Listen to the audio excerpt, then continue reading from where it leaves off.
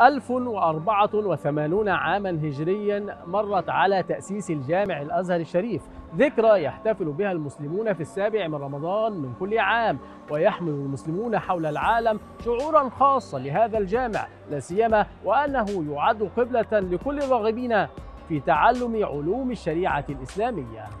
بنى جوهر الصقلي الجامع الأزهر في عهد المعز لدين الله الفاطمي.